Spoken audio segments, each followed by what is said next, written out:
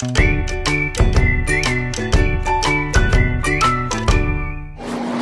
kids, it's me Seven. Welcome to this week's episode of our series called Wonder Women. Today we're going to talk about Hannah, not Hannah Montana. now, when we need help, we all have certain people to talk. I mean, turn to. It could be mom, dad, your aunt or uncle, or even a best friend. But all of us have someone we call first when we are in need. We don't need a little phone to call on God. We just need to pray. God wants us to pray for all the time, for the little things and for the big things. Even if it's little as no traffic. Oh man, I really want that. or it's as big as your dream vacation. Now, he wants us to pray for ourselves, for family, friends, for our church, and even for our enemies. We have to pray for them so that they'll have Jesus and God in their hearts and accept them as their Savior. God wants us to pray for everything and everyone. God wants us to pray big. He is a God who still does miracles. And if we believe, God will do big things, just like He did for Hannah. Heroes can do big things as well. Prayer warriors pray for big things. Let's become heroes by getting on our knees and asking God to do big things in our lives and in our community.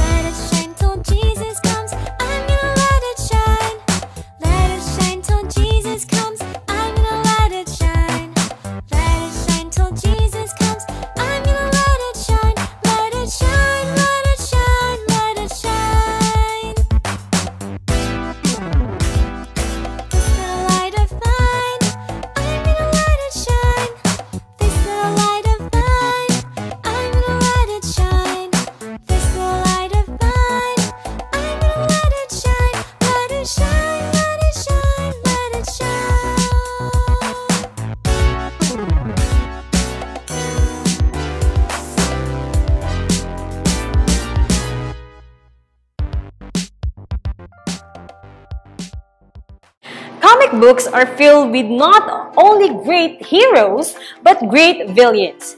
These villains put together some terrible plots to try and take over the city, the country, and the world, depending on their ambitions. Some villains are earthborn and some come from other worlds or other dimensions. Whatever their origin, these villains are far too much for ordinary women to uh, tackle with their puny weapons. It takes a superhero to defend a super super villains. When people are in trouble, held hostage by a fiendish villain, the people call on their heroes for help. If Lex Luthor is giving the city trouble, the people of Metropolis call Superman.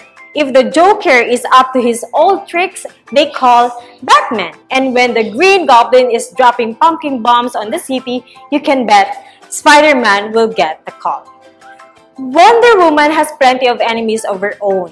Apollo, the Firstborn, Maxwell Lord, Circe, Cheetah, Ares, and the entire Germany army of I mean German army of World War One are just a few of the villains she has fought one by one.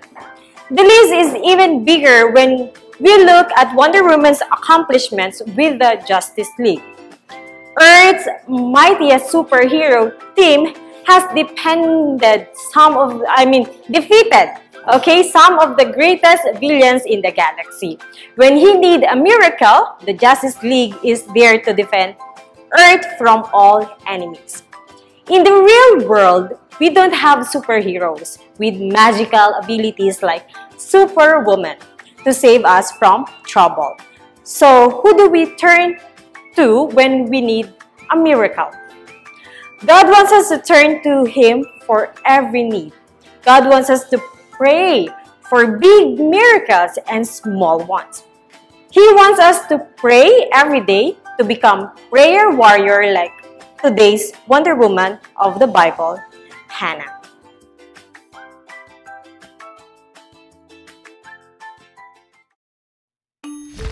Stories of the Bible. God speaks to Samuel. This is Samuel. Hi! Samuel was the son of Hannah. Hey, Samuel! Hannah prayed for God to give her a son, and God did. So Hannah gave Samuel back to God, See you, Samuel. Bye, Mom. and Samuel grew up in the temple serving under Eli, the priest. Hi, Eli. As Samuel grew up, he learned how to serve God from Eli.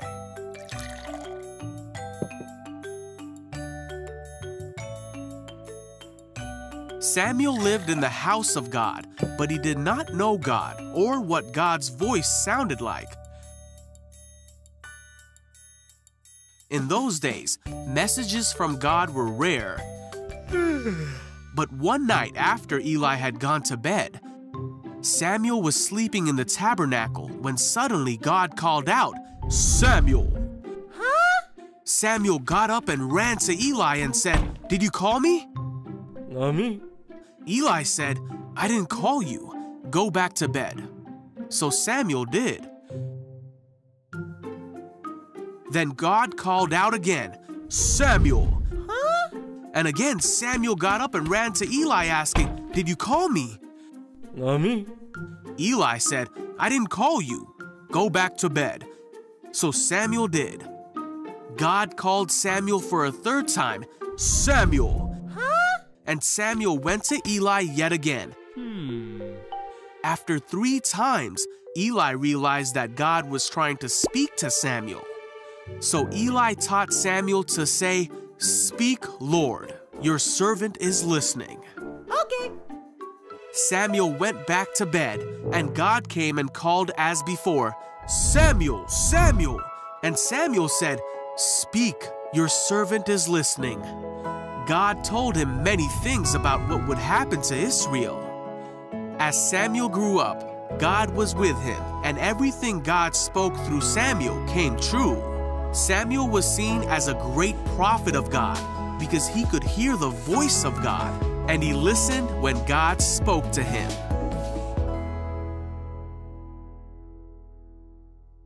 Hannah wanted one thing more than anything else in the world a child. But Hannah's body was unable to have children. Hannah was heartbroken, but she did not give up. She prayed her heart out. She begged God to give her a child, offering to give that child over to the Lord if he heard her prayer. Eli heard Hannah's prayer, and God gave him a message for her. You will have a son. God will answer your prayer. If you read on 1 Samuel, you will learn that her firstborn son was Samuel. The prophet for whom this book and the next in the Bible were named. He was a great man of God and a leader of Israel. He anointed Saul and David to be Israel's king. He was an answer to prayer not only for Hannah, but for all of Israel. Hannah shows that when we pray persistently, God can do big things through our prayers. God knows our needs before we even ask. But He still wants us to ask. God wants us to pray all the time, to be prayer warriors, so He can do mighty things through us.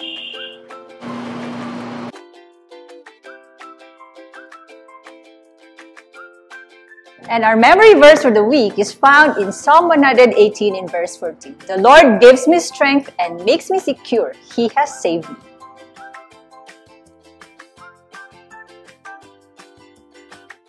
Hanging out with parents. Make this week lesson real.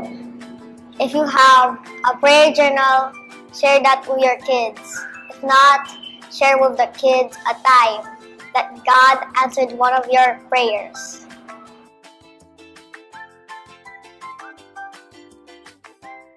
Hi kids! What's up? Are you ready for today's trivia? And I miss doing this. So if you're ready, let's do true or false this week. You have five questions to answer. Alright, and I'll give you some few seconds to answer each or think of your answer for each question. Question number one. Oh by the way, when your answer is true, I want you to just do say true. But if it's false, just do false. Okay, ready? Great. Question number one. Hannah had many children when she prayed to God to give her another child. Is it true or false? Okay, the answer is false. Question number two. Hannah was unable to have children. Is it true or false? Come on, kids. Let's see. All right, the answer is true. Question number three. Eli told Hannah that God would not answer her prayer. Is it true or false?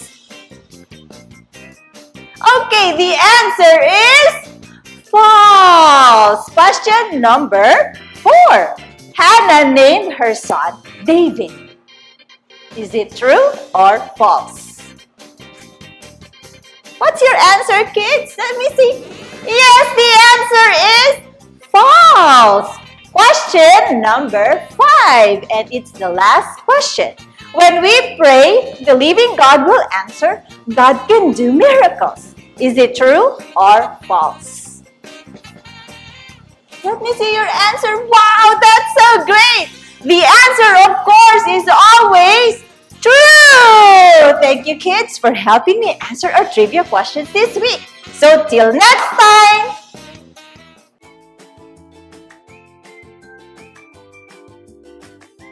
Here's a craft idea for you.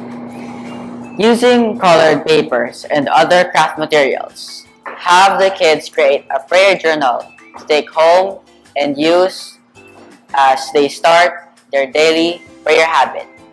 Make sure to include some superhero stickers in the craft materials. Prayer warriors are people who pray every single day. Are you a prayer warrior? Eh, I'm a prayer warrior. Now, the pray prayers of thanks, they pray prayers of repentance and prayers for our needs as well, as well as the need of others. Prayer warriors trust that God will hear their prayers and they pray believing that anything and any miracle can happen. And they're correct. Anything can happen if you ask God. And it takes a lot of discipline to become a prayer warrior. For most people, it's helpful to set aside time every day to begin a habit from prayer. Like in the morning when you wake up, or a time before school, after school, right before bedtime. Pick a time you can set aside with God every single day. Make it a daily appointment that you will never and do not miss. Don't let anything distract you when you start. Whether you pray in the morning and you're at a sleepover, don't let that stop you. Pray with pride. Now, many prayer warriors also keep a journal to write down things they pray for. A journal is helpful for remembering people who need prayer. We can write down their names and the things we pray for. Writing things down is especially helpful when God begins to answer those prayers. We can go back and write down when and how God answers us, and we can thank Him for answering those prayers. It doesn't take big muscles or years of going to church to become a prayer warrior. It takes daily commitment and a heart that believes in the impossible. This week, set aside time every day to pray. Ask God to make you, yes, you, a prayer warrior and ask Him to help you develop a habit of prayer. Soon, you will become the kind of Christian who not only believes in miracles, but sees them happen every single day. Heroes are, I mean, heroes know that when they help, they need to pray big. Big or small. God knows what we need. Take those needs to Him in prayer.